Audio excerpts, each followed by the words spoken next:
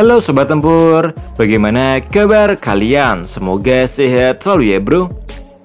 Ya, bila Indonesia punya Maung dan Komodo Maka militer Rusia punya rantis sejenis yang disebut Tiger 4x4 Ya, sebagai rantis lapis baja multiguna dengan mobilitas tinggi Kendaraan besutan Military Industrial Company yang juga dikenal sebagai Russian Humvee ini telah diluncurkan dalam berbagai varian Salah satu varian baru Tiger adalah Tiger Command and Control atau C2.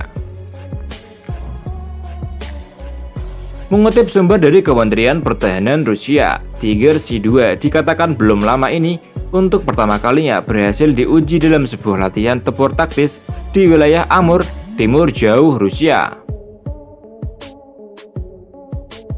Tiger C2 menyediakan komunikasi yang stabil dan aman untuk mengendalikan pasukan, Penggunaan kendaraan pos komando jenis baru memungkinkan bagi komandan untuk terus mengontrol pasukan termasuk saat bergerak dan juga memberikan perlindungan yang diperlukan bagi awak dan komandan. Tiger C2 dilengkapi dengan peralatan telekomunikasi modern yang memungkinkan konvensi video dengan aman. Komunikasi telepon dan transmisi data tidak hanya di lokasi, tetapi juga saat kendaraan tengah bergerak. Tiger dapat membawa hingga 9 orang di dalam kabin.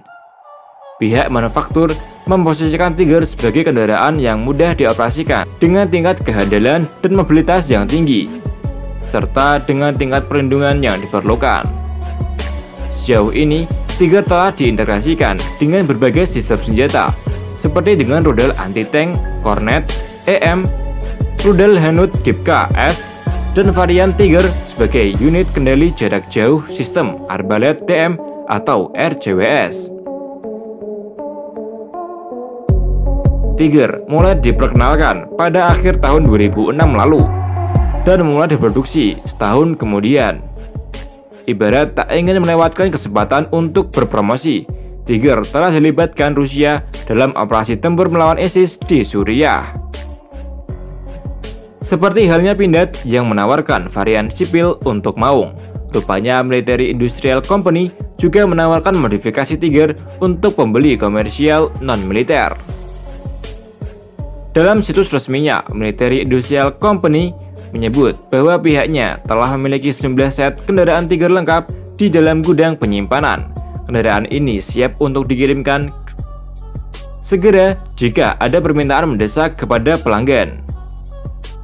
Tidak perlu menunggu dan membuang waktu untuk produksi. Rantis ini dapat dikirim segera setelah prosedur dan formalitas ekspor dituntaskan, ujar juru bicara perusahaan.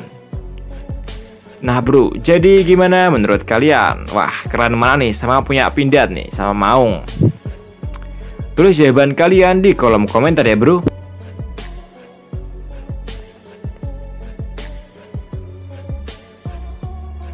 Nah bro, jadi gimana menurut kalian? Silahkan kalian selain tempur diri di kolom komentar ya bro.